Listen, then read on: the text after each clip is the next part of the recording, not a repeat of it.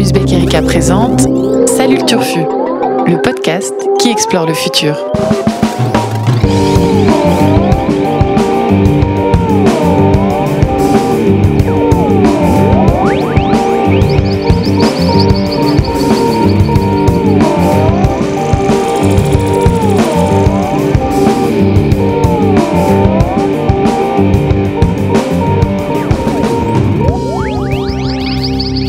Salut les turfos et bienvenue à toutes et à tous dans Salut le Turfu. Et oui, pour marquer le début de notre deuxième saison, on vous embarque dans un nouveau vaisseau spatial rutilant pour continuer à explorer cet univers étrange qu'on appelle le futur, ou Turfu, donc comme le disaient les jeunes en 2008 et Booba en 2012.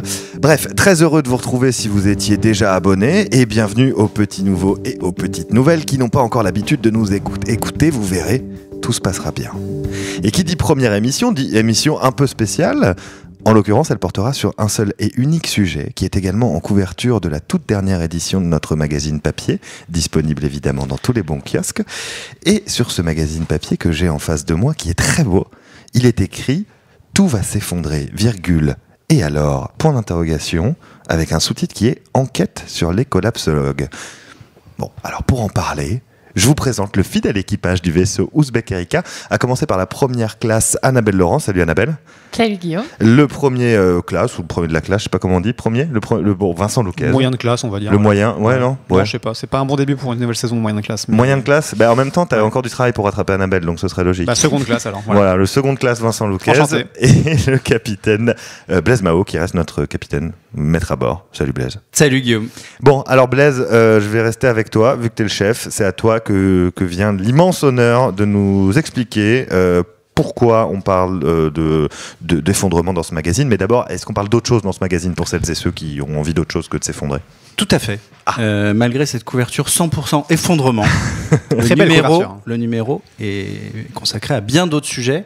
Juste quelques-uns, je ne vais pas tout vous énumérer parce qu'il y a évidemment euh, une foultitude de sujets passionnants dans ce nouveau numéro. Tous plus passionnants les uns que les oui, autres. évidemment, comme d'habitude. Mais euh, je- j'en ai sélectionné trois euh, Ouais. que je trouve particulièrement euh, pertinents, euh, où on va, j'espère, apprendre des choses en les, en les lisant.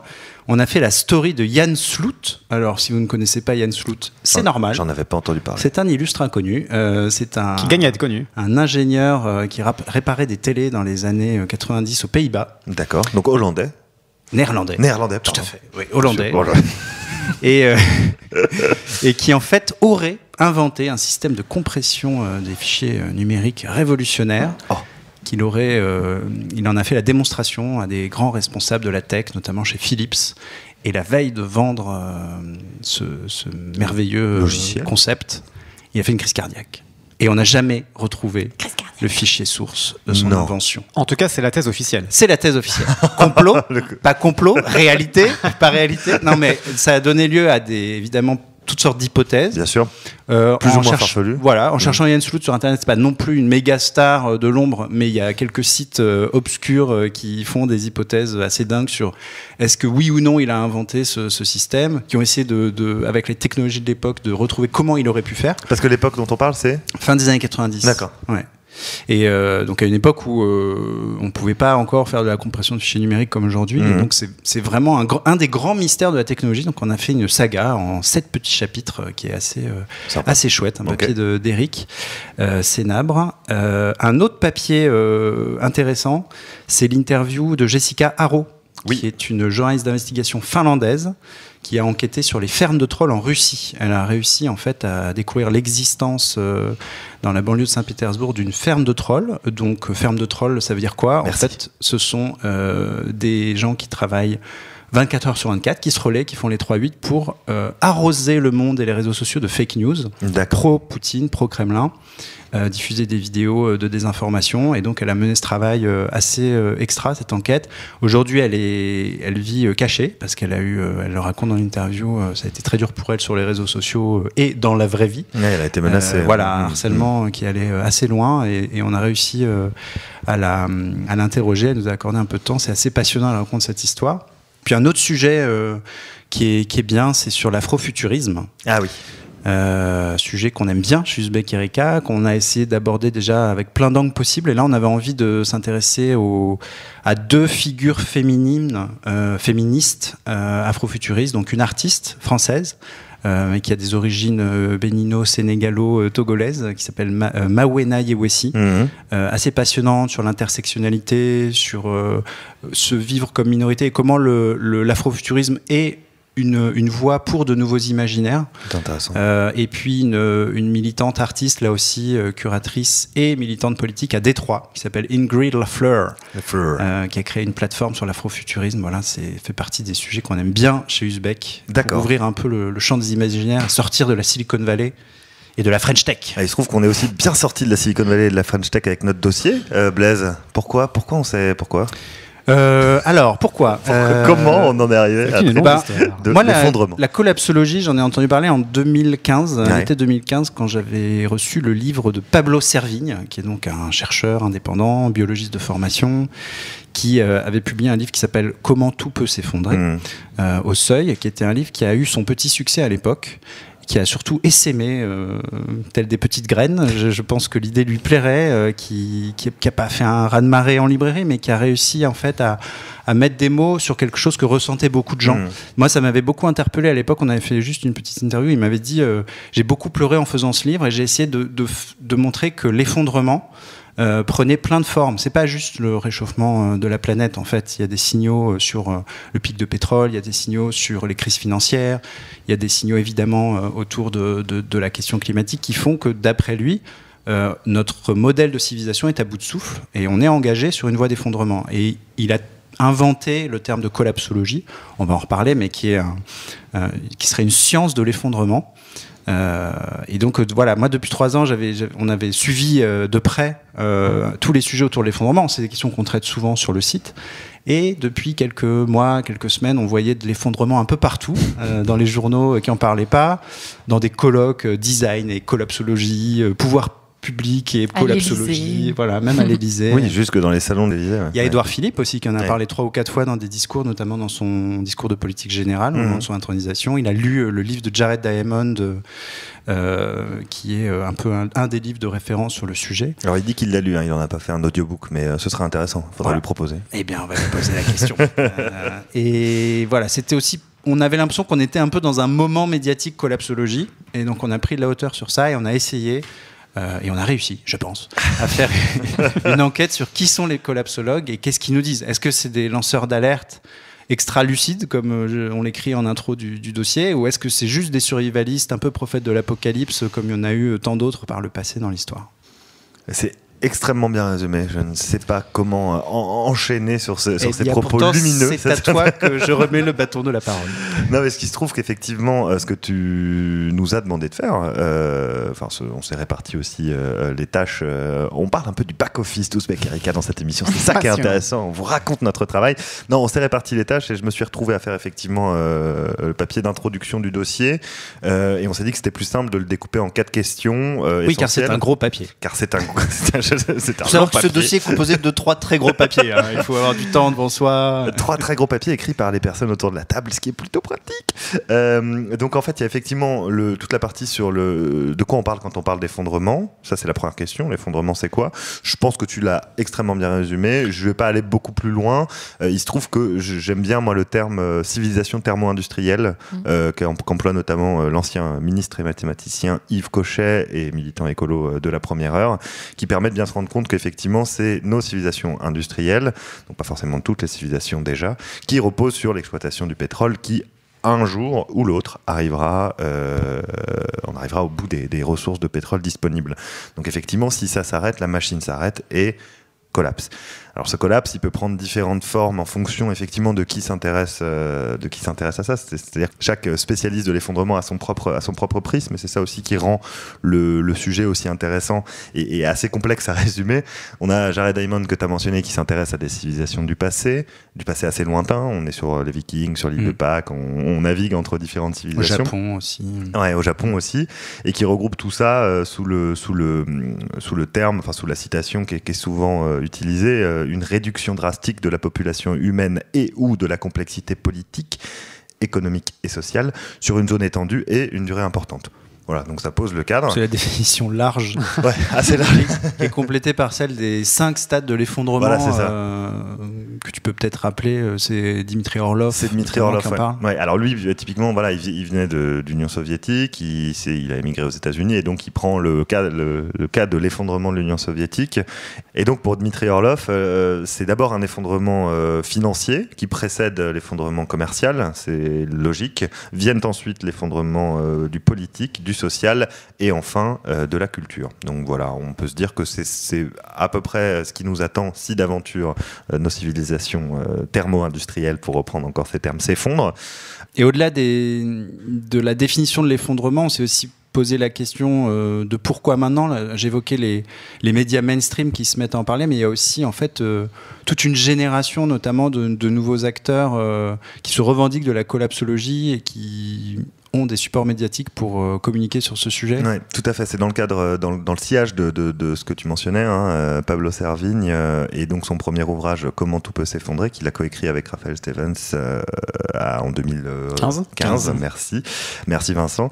Euh, qui a ensuite publié d'autres d'autres ouvrages, euh, et que Vincent d'ailleurs a, a lu en entier l'intégralité de ces On a trois aussi ouvrages. parlé d'ailleurs de l'entraide sur, sur son second bouquin, où Et- il est plus dans les, déjà dans l'après, en fait, dans les propositions, ce qui est, ce qui est intéressant, ce qu'on ce qu'on développera là aussi.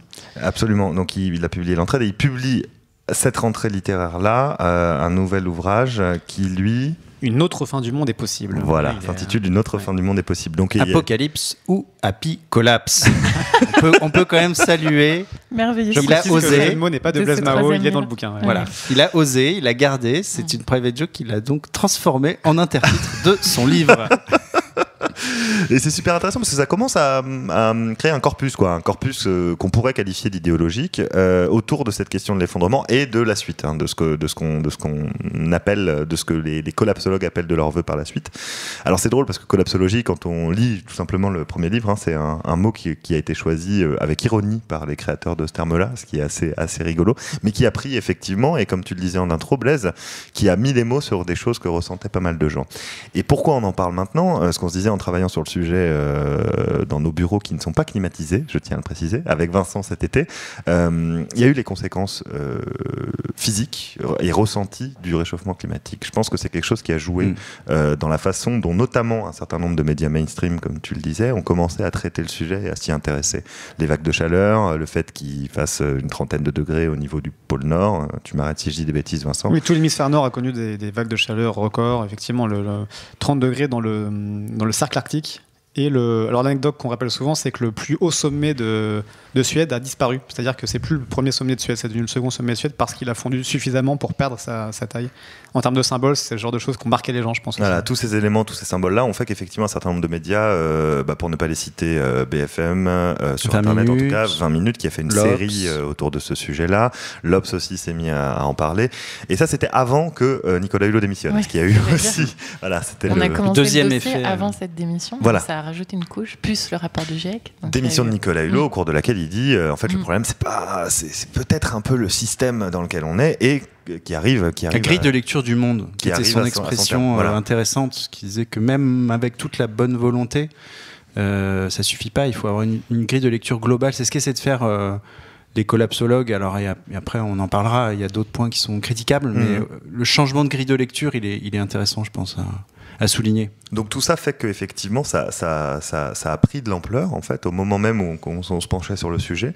Euh, on l'a vu euh, notamment dans un certain nombre de groupes euh, qualif- qui se qualifient eux-mêmes de collapsologues, qui se réunissent sur des groupes Facebook euh, dans lesquels on s'était inscrit pour se renseigner un peu sur le sujet.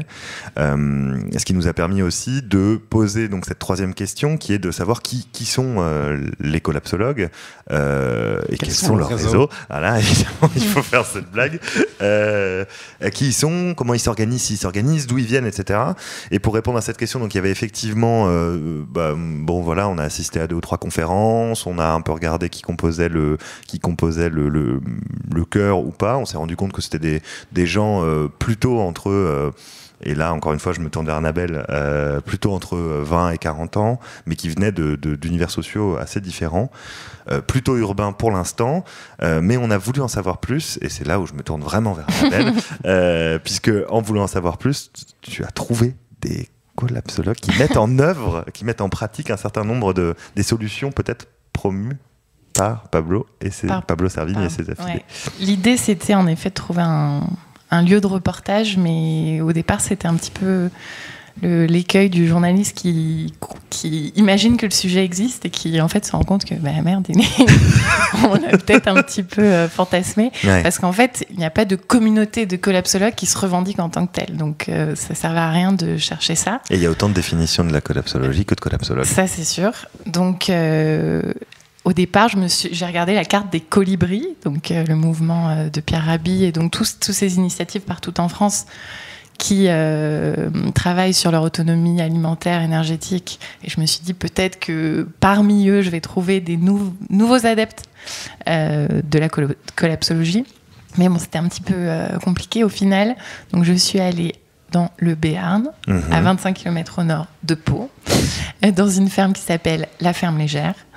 Et c'est en effet une communauté qui développe autonomie alimentaire et énergétique, mais parmi les 10 personnes qui y vivent, il y a un couple, Marc et Valérie, qui cet été ont fait un tour de France à vélo de l'effondrement. D'accord. Ils ont fait 2500 km à vélo. Ils ont organisé 22 réunions auprès des militants écolos. Et voilà, ils, ont, ils affichaient euh, leur, euh, leur, euh, le, le thème de leur réunion qui était effondrement de nos sociétés thermo-industrielles. Venez, on va en, On va en parler, parler. On va se On va marrer. se marrer, ça va être cool. Voilà. Oui, parce qu'effectivement, alors je, je t'interromps juste 30 secondes, mais c'est effectivement euh, très lié au mouvement écolo déjà existant, c'est-à-dire que c'est une thématique qui, qui est saisie par un certain nombre de ces, de, ces, de ces militants de la première heure, et parfois d'ailleurs euh, re- refusée, c'est-à-dire que ce- certains, euh, Alternatiba pour ne pas les nommer, qui croient Mm. encore à la transition euh, écologique, qui, qui ont envie de maintenir l'espoir, refusent qu'on parle d'effondrement. Ils ont voulu en fait se greffer au Tour Alternatiba qui organise en effet un tour à vélo. Ouais. Ils ont reçu une réponse par mail très nette qui disait l'effondrement est un angle d'approche qui ne colle pas avec le narratif du tour. Car selon nous, nous avons encore les leviers d'action pour euh, réagir, etc. Et- etc. et- La question, c'est de savoir est-ce que cette approche, c'est démobilisateur? Pour la cause en fait Est-ce que ça dessert la cause de parler de l'effondrement alors que en fait euh, ça fait euh, des dizaines d'années que euh, les militants euh, essaient de faire changer les choses et là vous venez nous dire que on fonce dans le mur et que ça ne sert plus à rien. Euh, voilà. Et leur, eux, leur idée, c'est non, évidemment. Ce n'est pas des mobilisateurs. C'est un discours qui peut parler à certaines personnes. Ce Mhm. n'est pas le seul discours. Il n'y a pas deux bons discours et ils ne sont pas à prêcher euh, en disant euh, les autres n'ont rien compris, Alternati- Alternativa, etc., n'ont rien compris. D'autant que euh, eux viennent de ces discours, enfin de ces milieux-là, en Mhm, fait, mhm, avant. C'est juste qu'ils ont, ils ont changé. Euh, changé d'approche. euh, Et donc Marc et Valérie euh, à la ferme légère après ce, après ce tour ce tour de France à vélo, euh, ils ont décidé de mettre en pratique ce que ce que dit notamment Pablo Servigne dans ses livres, c'est-à-dire effectivement être résilient, pouvoir créer sa propre énergie, etc. Au sein de Mm. cette ferme légère où tu as passé quoi combien? Quelques jours? 24 heures 24 heures. avec Zoé qui est euh, qui travaille chez Uzbek et qui est photographe. On est partis euh, toutes les deux 24 heures, donc c'était beaucoup trop court. Mais, On veut plus partir quand on est là-bas en fait. mais euh, ça permettait quand même de se rendre compte d'un certain nombre de choses, euh, notamment que en fait sur les solutions, quand tu es collapsologue, tu n'es pas euh, là allongé euh, dans ton jardin à attendre la mort, évidemment. Ni dans ton bunker avec tes boîtes de conserve, ils sont pas Et sur qu'en du fait, sur les solutions, ça se rejoint complètement avec euh, les adeptes, ceux qui croient encore à la transition, euh, les gens d'Alternativa que j'évoquais plus tôt. En fait, c'est on développe, on développe, voilà, son, ils ont 11 hectares. Il y a un hectare qui est consacré au maraîchage. Ils Mhm. veulent faire grandir ça. Ils ont construit deux serres. Ils veulent donc euh, l'autonomie alimentaire est vraiment en train de débuter, mais l'autonomie énergétique, ils sont ils sont quasi bons. Euh, voilà, quand il n'y a pas trop de soleil, ils peuvent euh, pas trop regarder leur mail et pas trop. euh, Enfin voilà, ça coïncide avec euh, une baisse de confort, Mhm. mais qui pour eux n'est pas une baisse de plaisir de vivre. Et, et donc voilà, sur les solutions, en fait, c'est. C'est, euh, ça, se- ça se rejoint pas mal avec euh, la transition, donc ça c'était intéressant de s'en rendre de s'en rendre compte euh, sur place. ouais. La, la- la- la transition et les- la décroissance en fait. Le, Et la décroissance. L'espèce de ce que, ce que disait Rabbi avec Pierre Rabhi dans, dans, dans, dans ses ouvrages, Mhm. notamment le concept de sobriété heureuse. C'est ce que tu dis, on accepte de baisser notre niveau de vie Parce que si Mhm. tout s'effondre, on sera. Il y, a, y a- y a quand même toujours cette réflexion-là. Si tout s'effondre, on sera, euh, on sera prêt, quoi. En fait, ils ont, les, les premiers ont acheté la ferme en 2015 et l'effondrement, euh, enfin, Valérie notamment dit qu'elle a été sensibilisée au sujet par la sortie du deuxième livre de Pablo Servigne, L'entraide. Faut que je me- Il revient souvent celui-là. il revient, hein, il revient dans ce, dans ce, Euh, dans ce dossier. En fait, ils achètent la ferme en 2015. Ensuite, ils entendent parler de l'effondrement. Donc, évidemment, ils me disaient, mais l'effondrement est venu après. Mais rajoute euh, une, une cohérence en fait à notre projet et ils nous invite à un peu revisiter les choses, euh, notamment d'un point de vue technique. Par exemple, euh, Marc disait que là, ils sont en train de remettre en, en marche le puits Mhm. et que le fait que, que enfin, dans la perspective de l'effondrement, ils se disent que c'est pas une mauvaise chose euh, que voilà, qu'ils soient indépendants en termes d'eau. En par termes d'eau, notamment, ouais, effectivement. Mais c'était ouais. pas forcément une pensée qu'ils avaient euh, avant. D'accord. Et voilà. Et ce qui était aussi intéressant, bien sûr, de se rendre compte, c'est que euh, ces dix personnes ne sont pas collapsologues. Euh, elles ont toute une définition personnelle et subjective de l'effondrement. Il y en a qui sont plus ou moins euh, inquiets, il y en a qui ont euh, des, un focus sur euh, le, le vivant, ce qui va, enfin, Vincent va nous expliquer son article, mais qui, qui faisait vraiment écho à l'article de Vincent sur le côté, euh, en fait, si l'espèce humaine disparaît, c'est pas l'essentiel. Euh, voilà. Et ça, de C'est une ligne. Hein, Ça peut se. Ouais, ils, voilà. sont pas, ils sont pas Se majoritaires, quoi. mais- Je pense que ça peut être le titre de ce podcast. Et après, ils sont plus ou moins, ils ont plus ou moins lâché l'affaire entre guillemets. Donc, Ouais. Euh, ils sont, voilà, du coup, c'est, assez intéressant en termes de débat. Je pense qu'ils n'ont pas fini eux d'en débattre entre eux euh, sur, euh, sur euh, est-ce qu'on est trop idéaliste ou plus idéaliste. Mais effectivement, Mais- la, la question de savoir qui, est, qui sont les, les collapsologues est une question à laquelle en fait on ne peut pas répondre parce qu'il n'y a pas d'études sur la Voilà. question. Il y a autant de définitions qu'il existe de gens quasiment, même si. Euh, même si voilà, ils ont tous lu euh, Pablo Servigne, etc. Le point Mm. commun, c'est ça, c'est le, c'est les ouvrages de Pablo Servigne et le fait que c'est des gens qui se posent des questions, en tout cas, et qui, euh, font confiance à un certain nombre de, quand même, de, faits et de chiffres scientifiques qui, Ouais, nous, qui, nous a- qui les amènent à cette conclusion-là, quoi. C'est assez marrant dans ton papier, Vincent. Annabelle. hein, ça m'a marqué. On revient toujours sur Pablo Servigne, mais le bouquin est là en fait. Il est quand ils vont faire Mhm. leur, leur marché, il est sur la table, ils en parlent et euh, et il y a ce côté très poreux dans les imaginaires parce que c'est. Je, je répète un peu ce que tu dis, mais il y a une citation qui m'a marqué aussi. C'est je sais plus quel personnage qui raconte que euh, qui dit si, euh, si tout s'effondre finalement c'est qu'une société injuste qui s'effondre je vois pas où est le problème ou en tout cas Mhm. ça me dérangera pas d'un côté Pablo Servigne lui il participe à des Ouais. mouvements euh, il est encore temps où- Mhm. on voit que c'est enfin il est dans l'effondrement mais en même temps il est avec les gens qui veulent encore encore avoir de l'espoir et l'autre côté tu as des gens qui sont dans l'effondrement et qui veulent, veulent presque que le- la société euh, injuste s'effondre Alors justement, c'est marrant parce que tu évoquais le papier de Vincent et là, toi, tu évoquais les imaginaires, ce qui me fait une transition toute trouvée. l'entraide tu vois on est dans l'entraide déjà Mais ça me fait une transition toute trouvée vers, euh, vers ton papier à toi, Vincent, qui s'ouvre avec une statue de la liberté euh, composée d'animaux très belle euh, illustration euh, et qui a un, un titre euh, étonnant. L'effondrement, la nouvelle religion de l'humanité. Ah bah Alors finalement, on a enlevé le point d'interrogation parce qu'on s'est dit qu'on était là pour avoir des vérités absolues énoncées comme ça. On se posait trop de questions dans ouais, voilà, l'introduction. donc, donc, euh, euh, finalement, on a décidé que ce serait la nouvelle religion de l'humanité. L'idée en fait du papier, on a voulu euh, pour le coup essayer de- d'avoir une réflexion vraiment à long terme et de se dire est-ce que euh, l'effondrement c'est pas finalement si important que ça qu'il advienne? Ce qui compte, c'est que c'est un nouvel imaginaire. On, est de plus en plus dans un imaginaire où tout le monde, à force d'accumuler les rapports du GIEC, à force d'accumuler les, études, où moi le premier, on raconte que bah, on est dans la sixième extinction de masse, on, on vit plein de trucs euh, horribles c'est finalement euh, un horizon pour les, pour les gens qui, qui nous sort totalement de l'idée de progrès, qui nous sort totalement de l'idée d'évolution euh, optimisme et, optimiste et, et croissante de, de- de notre civilisation. Mhm. Et donc, est-ce que ça, ça va changer euh, radicalement la donne pour notre façon de, de construire le futur? Et d'envisager l'avenir. voilà. Alors en fait, pour expliquer bien de, quoi on parle, l'idée de l'article, elle est partie, en tout cas la, la réflexion, elle est partie des, des bouquins de Yuval Harari, l'historien israélien, qui explique bien dans ses bouquins, euh, c'est la partie la moins polémique parce que quand on y va dans le futur, c'est peut-être plus euh, sujet à caution, mais sur la partie vraiment historique qu'il qui maîtrise, il explique bien que ce qui fait la force et l'unicité de l'espèce humaine, c'est les mythes, la Ouais. capacité à, à- à se forger des mythes. Euh, voilà, il prend des exemples assez euh, parlants, mais voilà, les, les lions, ils ont des super euh, fourrures et des super crocs, il y a des espèces qui ont des carapaces, des machins. Nous, on n'a rien, on est, on est pourris dans la nature, on sert à rien. Pourquoi on a tout dominé Pourquoi on a explosé tous les autres euh, animaux? Parce qu'on est capable de s'organiser en bandes massives, c'est-à-dire à, Plus de à plus de 100, milliers et milliers milliers. d'individus, Mm. parce qu'on est capable d'être tous fédérés par des mythes. Alors il y a différentes étapes, et, et à chaque fois, ce qui est marrant, c'est que ces mythes accompagnent, on ne sait jamais qui de la poule ou de l'œuf est celui qui a, qui a forgé l'autre, mais en tout cas, chaque nouvelle étape de l'humanité, quand l'humanité se réinvente, ça s'accompagne de nouveaux mythes. Mm. Donc on a le- la phase chasseur-cueilleur euh, que tous les adeptes de régime paléo connaissent bien, euh, où l'homme euh, se balade en Toujours pas bande. majoritaire non plus. Ouais. hein, mais- Oh, dans les lecteurs de Beccarica, peut-être qu'il y en a quand même pas mal. Enfin bref, on est- peu importe, on s'éloigne du sujet. Euh, en tout cas, il y a voilà, il y a ces trois étapes claires. Époque paléolithique, chasseur-cueilleur, donc grosso modo quand même la très très grande majorité de l'histoire de l'humanité, hein, puisque c'est de... Enfin, Sapiens, ça a commencé il y a 200 000 ans. Mm. Le, le- le- la lignée Homo, c'est encore plus, euh, plus vieux, mais jusqu'à euh, moins 10 000 ans, donc vraiment 90% de l'histoire de l'humanité, c'est des chasseurs-cueilleurs.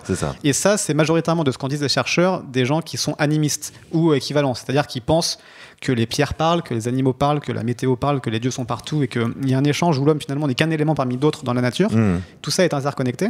Et quand l'homme d'un coup devient euh, agriculteur et éleveur, euh, il se met donc à dominer la terre, à dominer l'homme, et là il se met à. C'est assez marrant de voir le parallèle. D'un coup, la religion devient euh, déiste, où le dieu a un visage humain, parce que l'homme se met au-dessus, il a l'orgueil de penser qu'il peut tout maîtriser, tout façonner, puisqu'il commence à le faire en plus en vrai. Et que Dieu l'a créé à son image. Voilà, donc euh, voilà, il y a cette deuxième étape euh, néolithique avec ce- ces, ces dieux à visage humain, et troisième étape, d'après Harari, avec la révolution scientifique, ce qu'il appelle la révolution scientifique, donc la Renaissance, où là, euh, l'homme commence à comprendre qu'il peut même se passer de Dieu, parce que Dieu, il sert pas à grand-chose. L'homme lui-même, en, en lui, trouve des solutions, trouve des réponses, et là, né euh, euh, avec la... Voilà, avec la découverte de l'Amérique et avec euh, la découverte de la gravité, pour euh, être un peu caricatural, l'homme se dit tiens, en fait, c'est marrant, les lois, elles sont pas dans le- les vieux bouquins de la Bible, elles sont euh, dans, dans la nature. Si on observe, on peut nous-mêmes déterminer ces, ces lois et nous-mêmes les trouver. Et donc, c'est l'homme qui a sacré, c'est plus Dieu. Et là, Mhm. c'est l'humanisme qu'il appelle la nouvelle religion de l'humanité. Depuis 500 ans, on est dans l'humanisme comme nouvelle religion, où pour lui, une religion, c'est pas un rapport à un Dieu, c'est un fait social. Alors, je, je cite dans le dans l'article où il dit que c'est vraiment la fonction sociale qui, qui englobe tout, qui, est la définition d'une Mhm. religion. Et Mhm. donc, pour lui, ça, c'est une religion. Et donc, la question, c'était, bah, finalement, là, on entre dans une nouvelle religion, puisque le, tout l'humanisme est remis en cause. On se rend compte que l'humain euh, déifié euh, cause sa propre fin, puisqu'on détruit toutes notre, les propres conditions de notre survie. On détruit Notre en environnement, etc. qu'espèce. etc. Mm, mm. Donc toutes les théories de l'effondrement dont tu as parlé, tout ça remet en cause l'humanisme. On se dit, bah, l'humanisme, c'était pas si bien que ça parce que ça aboutit à notre propre, propre mort. Donc est-ce que l'effondrement sera la nouvelle religion de l'humanité? C'est l'idée de ce papier qui n'a pas germé dans mon seul esprit malade. hein. Euh, J'espère bien. Ce serait un peu flippant de te côtoyer tous les jours si Bah, ce qui est intéressant, c'est que c'est que c'est le, il y a beaucoup de, de- de penseurs qui, qui sont qui ont pensé en parallèle d'Harari, parce que c'est Paris qui est le- qui est l'inspirateur de tout. Mais voilà, Pablo Servigne, on y revient, et son nouveau bouquin sort le même jour que notre magazine. Étonnant. Étonnant. Coïncidence Hmm, je ne Ah. crois pas par hasard. Il y a des liens comme ça qui se forment. Euh, et Pablo Servigne, je dis, on dit Pablo Servigne par, euh, par abus de langage, mais c'est Pablo Servigne, euh, Raphaël Stevens et Gauthier Chapelle. Ils sont trois co-auteurs à avoir travaillé sur ce bouquin. Euh, Le dernier, donc. euh, Alors c'était Pablo Servigne et Gauthier Chapelle sur l'entraide et. Pablo Servigne et Raphaël Stevens sur le premier, sur l'effondrement, comment tout peut s'effondrer. et Et, le, le- là, ils les, c'est les, les trois Power Rangers sont réunis D'accord, pour c'est le, ça, c'est pour la le Triforce, bouquin quoi. ultime. Quoi. Trois hommes, car la collapsologie souffre, Oui. comme partout Ouais, ouais. ailleurs, euh, d'une surreprésentation masculine. Absolument. Ce qui n'empêche pas les auteurs de consacrer un chapitre à l'écoféminisme, d'ailleurs, dans, dans le bouquin. Euh, mais on en parlera avec eux en temps voulu. Euh, en tout cas, dans leur bouquin, ils ont la même idée que Carrari, qui cite aussi d'ailleurs, mais euh, ils, eux, ils parlent d'ontologie plutôt que de religion. Mais grosso modo, l'idée est la même, elle est de dire qu'il faut revenir à une nouvelle ontologie pour réinventer l'avenir et permettre finalement d'être plus en harmonie avec euh, la nature, à, nouveau respecter les seuils de longévité de la planète, à nouveau euh, être en accord avec euh, un mode de vie qui puisse euh, nous réconcilier avec la nature. Mais alors, si tu mets pas de point d'interrogation à la fin de ton titre, c'est que tu penses que l'effondrement va être euh, la nouvelle religion de l'humanité? Oui, en fait, bah, euh, on, a, on a pas mal de signaux faibles qui, qui, qui nous montreraient que ça peut venir en tout cas. D'accord. On évoque aussi ça dans l'article. Il y a les, les antispécistes, c'est un bon exemple parce que euh, l'antispécisme, c'est vraiment ça, c'est de dire l'humain n'a rien d'exceptionnel. Tous les animaux ont la, même valeur intrinsèque en tant, qu'individu, même pas en tant qu'espèce. Euh, donc ils méritent des droits, donc il faut un droit des animaux, donc il faut que bah, manger de la viande, c'est un meurtre. Euh, les animaux font pas de podcast encore, excuse-moi. mais On n'a pas essayé, peut-être qu'on l'a pas demandé poliment, je sais pas. Non, non, mais ça, ils n'ont pas besoin, ils sont des porte-parole. plus sérieusement, il, il raconte que, le, la différence de capacité, justement, dont tu parles, est, pas, est pas légitime pour différencier les droits et pour différencier la valeur de, chacun. Je provoque. bah, bien sûr, mais de toute façon, Camille Brunel reviendra te taper. Je sais. notre, notre collègue animaliste. ça fait partie voilà, des signaux faibles qu'on évoque. Il y a aussi le droit qui évolue énormément. Il y a beaucoup de constitutions, notamment en Amérique du Sud, où ils ont le concept de Pachamama, euh, de terre-mer. Il y a beaucoup de, de, pays qui commencent déjà, et la France veut faire pareil, à mettre dans leur constitution le droit de la nature, à intégrer la nature comme objet de droit euh, à égalité quasiment avec les humains. Une rivière peut devenir euh, peut attaquer en justice via ses représentants humains. Une mmh. rivière peut attaquer en justice en Nouvelle-Zélande les gens qui l'ont pollué. une forêt en, en, Amérique du Sud, peut-être dans la constitution française à partir de 2019, ce sera également le cas. Donc, c'est des signaux faibles qui montrent que euh, bah de plus en plus, on, accepte l'idée que l'homme n'est pas si unique que ça, n'est pas au-dessus du lot. Et donc, euh, c'est une transition qui sera sans doute longue. Il y a Dominique Bourg, le philosophe aussi euh, suisse, qui nous, qui nous, parle du sujet de façon très, très passionnante, qui lui fait remonter ça à Darwin. Darwin, le premier, avec l'évolution, a cette idée qu'il y a un, continuum vraiment entre les espèces, que mmh. l'homme n'est qu'un animal parmi d'autres. Un singe, c'est pas euh, le descendant de l'homme, c'est un animal qui a autant évolué que l'homme en parallèle, et on est tous des, des, des, acteurs de cette évolution. Et donc, lui, il dit, bah, il y avait Galilée c'était, et Descartes qui séparaient nature et homme, et maintenant il y a Darwin et, euh, et consorts qui, qui disent, non, les gars, on est tous à même niveau dans, dans dans, le, dans la nature. il faut, euh, il faut se calmer un petit peu. Belle conclusion. il fallait songer à se calmer un petit peu. Belle conclusion, c'est euh, c'est assez intéressant et ça nous emmène assez loin euh, dans la réflexion. Le but, ouais. c'est plutôt, c'est plutôt agréable. je vous encourage donc auditeurs et auditrices à, à, lire, à vous coltiner, à vous coltiner ce gros article sur la vie des idées. Mais, ah, car il y a un mais. Ah, il y a un mais et c'est toi qui l'amène, Blaise évidemment malgré euh, la présentation de Vincent où tout semble couler de source dans le monde merveilleux de l'effondrement, les, grains de, les grains de sable, les, les petits cailloux dans la chaussure sont nombreux. Et euh, il faut parler aussi des, des, limites et des critiques euh, de la collapsologie. D'abord, une évidente et assumée par Pablo Servigne, la collapsologie, qui se présente donc comme une science de l'effondrement. Elle, elle revendique d'être une science qui mêle les faits scientifique, euh, observable, mais aussi la raison et l'intuition. Mmh. Est-ce qu'on peut fonder un discours scientifique et philosophique Parce que le dernier livre de, Servigne et ses co-auteurs est un livre de philosophie. Ils sont en train de faire une œuvre théorique très intellectuelle. Est-ce qu'on peut baser un discours scientifique sur la raison et l'intuition? Alors ça rejoint euh, le questionnement de Vincent sur les mythes, la notion de foi collective, voire de religion, nouvelle religion de l'humanité. C'est pour ça qu'on a posé la question euh, frontalement. Mais euh, je pense que là, on touche à quelque chose qui est extrêmement critiquable d'un point de vue scientifique. D'ailleurs, euh, pas mal de mouvements qui se revendiquent de l'effondrement ne se revendiquent pas de l'étiquette collapsologie. Je pense à, Drastia mm. notamment, qui est très prudent sur ce mouvement-là. Qui est une association qui s'intéresse aux conséquences de. Tout à fait. On a, bah, tu as interviewé Dominique Pi. il, se méfie aussi du fait qu'il y a un entrisme dans les mouvements collapsologues, sur les réseaux collapsologues de militants notamment d'extrême droite, qui euh, profitent euh, de cette euh, mouvance, de cette, de cette émergence pour développer des discours très très ouvertement survivalistes, tendance xénophobe, mmh. ambiance je prends mon gun et je tire sur les migrants dès qu'ils arrivent chez moi, et pour eux l'effondrement c'est cet horizon-là. Donc il y, y, a des pincettes à prendre aussi le fait qu'on soit pas sur un mouvement structuré est peut-être très sain, mais il nuit, je pense, aussi à la, lisibilité du mouvement. Tout ce qu'on dit depuis tout à l'heure, c'est quand même une grande complexité. La pensée de, de, Servigne se complexifie aussi de livre en livre. Là, il y a, on en reparlera peut-être en un mot, mais il y a, une métaphore autour du, champignon. Le mycélium. Le mycélium, euh, qui, voilà, on est loin en fait de comment tout peut s'effondrer, qui est mmh. un livre de faits et d'émotions. Et au-delà de, l'épiphanie émotionnelle que peuvent ressentir des, collapsologues et plein d'autres gens, je pense qu'il y a un problème de, lisibilité politique. Euh, de lisibilité, euh, il y a évidemment, euh, on peut les attraper sur est-ce que c'est un renoncement vivre ensemble. beaucoup, notamment Pablo, de collapsologues sont de culture anarchiste, mmh. donc ne se reconnaissent pas dans l'État protecteur et dans, et dans l'État garant d'une sécurité collective.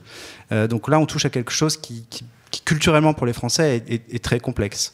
Et puis euh, il y a une critique aussi, et c'est ça qui est intéressant, qui vient de, la gauche, de la gauche, de mmh. l'extrême gauche, de l'extrême gauche. Extrême gauche écolo. Parce qu'en fait, même des militants antispécistes et, radicaux écologistes, écologiques euh, ne se reconnaissent pas dans la collapsologie. Je pense par exemple à, Nicolas Cazot que, tu as cité euh, dans, ton, dans ton papier, donc, qui fait partie d'une organisation internationale qui s'appelle voilà, Deep Green Resistance.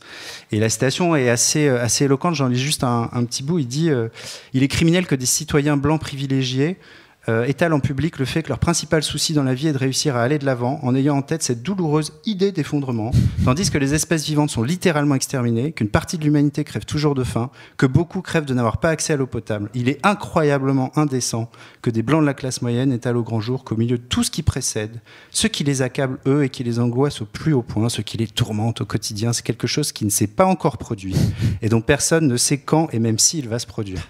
Donc là, on est sur la version extrême de la critique d'extrême gauche de, l'effondrement, mais je pense qu'ils mettent aussi le doigt sur une réalité à l'échelle mondiale qui est très sensible. Est-ce qu'on peut aujourd'hui se dire, euh, voilà, en Occident, en France, euh, on, est capable de faire ce, cette évolution euh, philosophique et, de terrain vers euh, l'effondrement, alors qu'en fait, euh, les trois quarts de l'humanité aspirent non pas à ça, mais à l'exact inverse, c'est-à-dire à, avoir leur part du butin entre guillemets et bah, à rejoindre aussi, le niveau de vie qu'on s'est ouais, créé, pouvoir en, fait dans un espèce d'idéal de, classe moyenne mondialisée, ou ce qu'on peut voir en Asie notamment, c'est pas du tout la tendance à l'effondrement. Donc je pense qu'il y a un vrai sujet de d'unification mondiale sur cette thématique-là. C'est une vraie limite. Est-ce qu'on est sur une avant-garde euh, hyper occidentale?